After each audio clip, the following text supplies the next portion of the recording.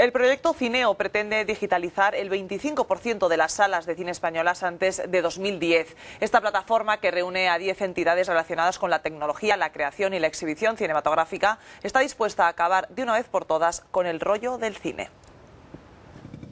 Hay algo que une a Mel Gibson, Julio Medem o Robert Rodríguez. Ruedan sus películas en digital, aunque posteriormente estén obligados a convertirlas en rollos de 35 milímetros para su exhibición en salas comerciales. Para los promotores del proyecto Cineo, todo son ventajas en la digitalización del proceso. Estamos hablando de traer nuevas audiencias de nuevo a, las salas, optimizando procesos, bajando costes y eh, creando una serie, digamos, un terreno con una serie de ventajas que valen para todos no es excluyente, es incluyente. Hoy en día la copia química analógica de una película supone unos 1.000 euros.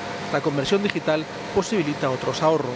El ahorro de costes en el envío de esas copias, que ahora sería un envío de una señal, eh, es eh, sobre todo la degradación de la imagen que va teniendo pues a la medida que se van pasando las películas en un cine pues tradicional en el digital pues no ocurre una película está igual una vez se ha pasado mil veces que la primera también gastos la conversión por sala supone entre 50 y 80 mil euros.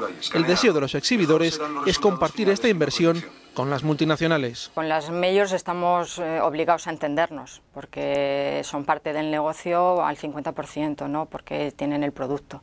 Entonces, bueno, mm, eh, está por definir todavía eso, quién, quién paga qué. Al fin y al cabo, en toda reconversión ha habido víctimas.